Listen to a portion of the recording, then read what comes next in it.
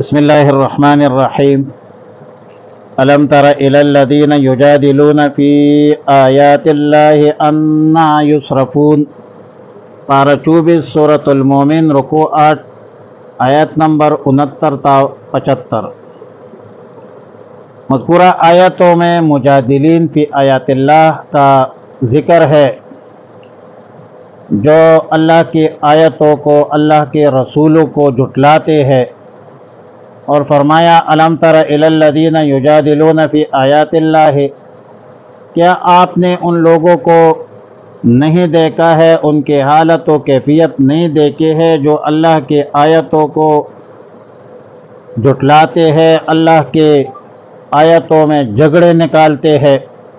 اور فرمایا، انا یؤفکون، اے انا یصرفون من الحق، کہا تیرے جاتے ہو حق سے الذین کذبوا وہ لوگ جو جنہوں نے جھٹلایا ہے بالکتاب اے بالقرآن، جنہوں نے قرآن کریم کو جھٹلایا ہے اور ان چیزوں کو بھی جھٹلایا ہے جو انبیاء علیہ السلام کو دے کر بھیجا تھا وہ بما ارسلنا بھی رسولنا رسولنا جس میں بما میں ماں میں تمام چیزیں شامل ہے۔ احکامات ہے، معجزات ہے، تعلیمات ہے۔ کیونکہ مشرقین عرب تو کسی بھی پیغمبر کو مانتے نہیں تھے۔ تو ان بدبختوں کا یہ جو عمل ہے وصوف یعلمون عن قریب، ان لوگوں کو معلوم ہو جائے گا بروز قیامت۔ اور ظاہر ہے کہ قیامت قریب ہے۔ بروز قیامت ان کے گردنوں میں توق ہوں گے۔ اور ان توقوں میں زنجیریں پروئی ہوئی ہوگی اور ان زنجیروں سے ان بدبختوں کو گسیٹے ہوئے یسحبون فی الحمیم، کولتے ہوئے پانی میں، حمیم، گرم پانی یا کولتے ہوئے پانی کو کہتے ہیں۔ آیت کریمہ سے بظاہر یہی مفہوم معلوم ہوتا ہے کہ اہل جہنم کو پہلے حمیم میں ڈالا جائے گا، اس کے بعد جہیم میں جہنم میں ڈالا جائے گا۔ اور آیات کریمہ تک کا تقاضا بھی یہی ہے کہ حمیم جہیم سے پہلے ہوگا۔ اور یہ بھی واضح ہو گیا کہ حمیم علیحدہ ہے جہیم جہنم علیحدہ جگہ ہے۔ دونوں علیحدہ علیحدہ جگہ ہے۔ اور اس کے تائید سورہ صافات کی آیت سے بھی ہوتی ہے کہ ثم ان مرجعہم لإلی الجحیم۔ اس سے بھی یہ معلوم ہوتا ہے کہ حمیم جہنم سے باہر کوئی جگہ ہے جہاں اہل جہنم کو گرم پانی پلایا جائے گا، حمیم میں لایا جائے گا، پھر جہنم میں لوٹایا جائے گا۔ اور بعض قرآن کریم کے آیتوں سے معلوم ہوتا ہے کہ حمیم ہی جہنم میں ہے۔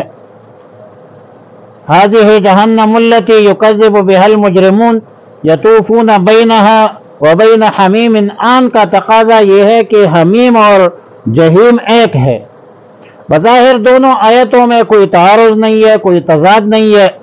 جہنم کے بہت سارے طبقات ہیں جن میں قسم قسم عذاب ہوں گے۔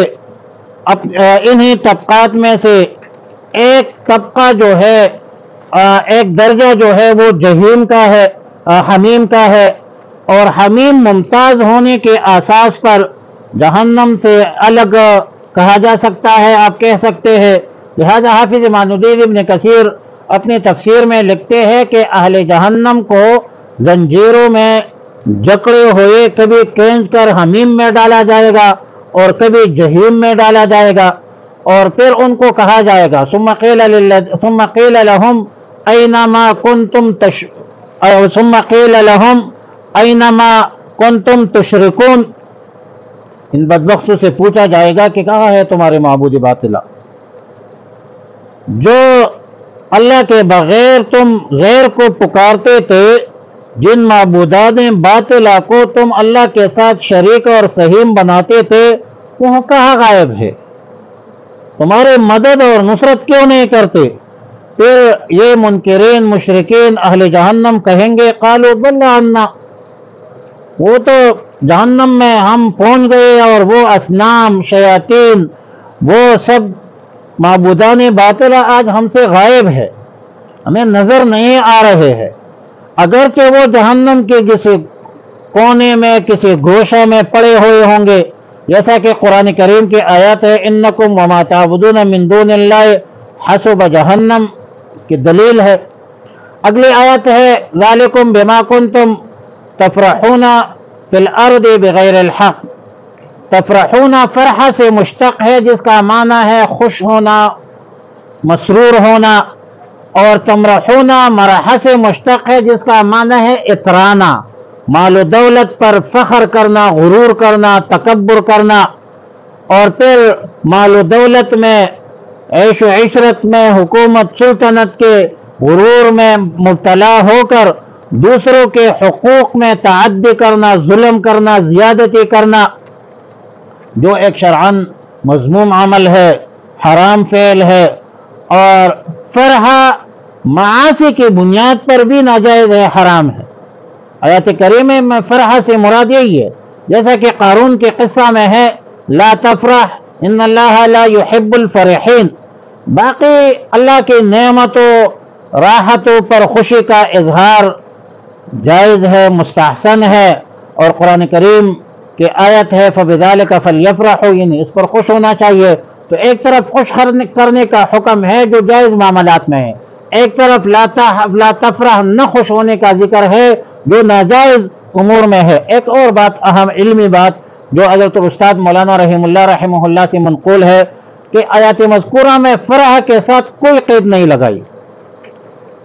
ذالکم بما کنتم تفرحون فی الارض بغیر الحق. فرح کے ساتھ تو قید لگائی، لیکن مرحہ کے ساتھ کوئی قید نہیں لگائی، بلکہ مطلقاً سبب عذاب ٹہرا دیا۔ سبب عذاب ٹہرا دیا اور فرح کے ساتھ بغیر الحق کا قید لگا کر بتلا دیا کہ ناحق اور ناجائز چیزوں میں لذتوں میں خوشی کا اظہار کرنا یہ حرام ہے اور حق اور ناجائز نعمتوں پر بطور شکر خوش ہونا یہ جائز بھی ہے، مستحسن بھی ہے، ثواب بھی ہے۔ تو تفرحون فی الارض بغیر الحق میں اللہ تعالیٰ نے مقید فرمایا، اور وہ بما کن تم تفرحون کو مطلق ذکر کیا۔ ظاہر ہے مطلق اپنے اطلاق پر جاری ہوتی ہے اور مقید اپنے تقید پر جاری ہوتی ہے، اگر فرحہ بغیر الحق ہے تو ناجائز ہے، اور اگر حق پر ہے تو جائز ہے، اور تمرحونہ ہر حالت میں ناجائز اور حرام ہے۔ علم تر الدینہ کیا نہیں دیکھا ہے آپ نے الدینہ ان لوگوں کو یجادلونا جو جھگڑے کرتے ہیں، فی آیات اللہ اللہ کی آیتوں کے بارے میں، انا یسرفونا کہاں وہ پیرے جاتے ہیں؟ اللہ دینہ کذبو بالکتاب، وہ لوگ جنہوں نے جٹلایا ہے بالکتاب، اے بالقرآن۔ قرآن کریم کو و بما، اور اس کو ارسلنا بھی جو ہم نے دے کر بھیجا تھا رسولنا، اپنے رسولوں کو۔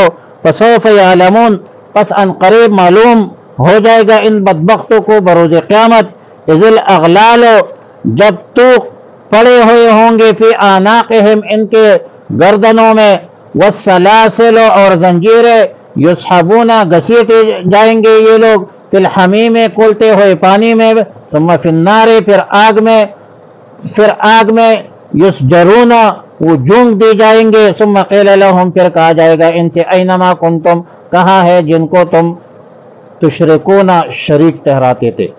من دون اللہ اللہ کے بغیر سوائے اللہ کے۔ قالو وہ کہیں گے بلو وہ کو گئے ہیں عنا ہم سے غائب ہو گئے ہم سے۔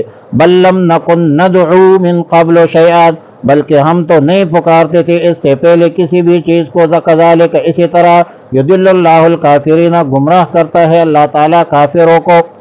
ذالکم، یہ عذاب تم پر اسی لیے ہے، بما کن تم تفرحون فی الارض، کہ تم خوش ہوتے تھے زمین پر بغیر الحق ناحق و بما کن تم تمرحون، اور اس کے بدلے کہ تم غرور کرتے تھے۔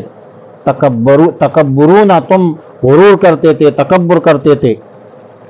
اللہم صلی علی محمد وعلی آل محمد کما صلی تعالی ابراہیم